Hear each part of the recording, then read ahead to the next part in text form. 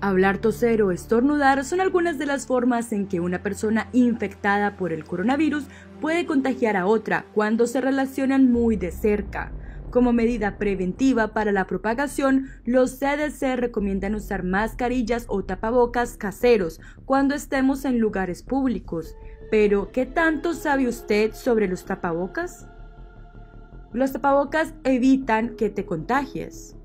No, la función de los tapabocas o mascarillas quirúrgicas es proteger a otros de transmitirles el virus que ya está contigo a través de estornudo y saliva. Los tapabocas ayudan a bloquear las gotas más grandes de partículas que podrían contener virus o bacterias. ¿Debemos optar por hacer tapabocas caseros? Sí, de acuerdo a la recomendación de los CDC, el utilizar tapabocas caseros ayudará a que las mascarillas quirúrgicas y los respiradores N95 no se agoten y puedan estar disponibles para el personal médico que en estos momentos son los que están trabajando activamente a favor de contrarrestar la pandemia del COVID-19. ¿Cualquier tipo de tapabocas sirve para protegerse del coronavirus? No. Desafortunadamente hay muchas personas que están haciendo tapabocas de tela y friselina común, que no tienen la resistencia necesaria para contener las partículas de un estornudo, como se muestra en este video. Otro tipo de barbijo que están utilizando como friselina, tela que no debe ser usada para barbijo. Pasa. Friselina de bolsa. Pasa.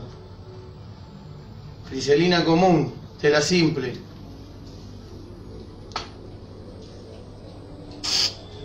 Pasa. Barbijo quirúrgico, por ende los barbijos reglamentarios. No pasa.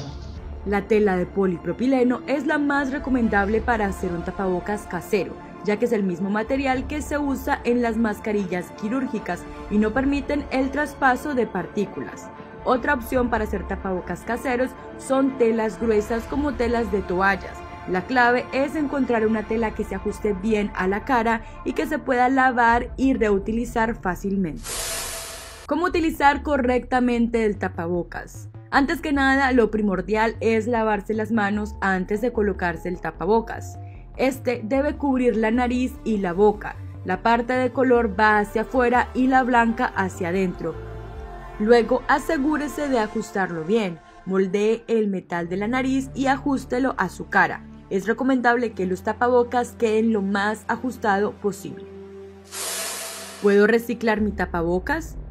Los tapabocas que se compran en las farmacias y las mascarillas quirúrgicas N95 se deben desechar todos los días.